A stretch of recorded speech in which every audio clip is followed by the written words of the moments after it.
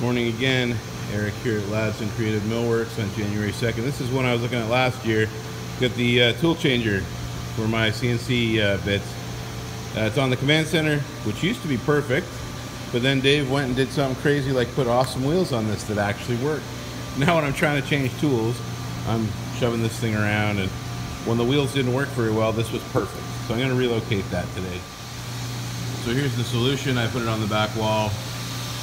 See it's nice and close to where the machine is when I change tools. Uh, not quite as close as I could get the, the command center when I wheel it over, but better than walking all the way over to the other cabinet.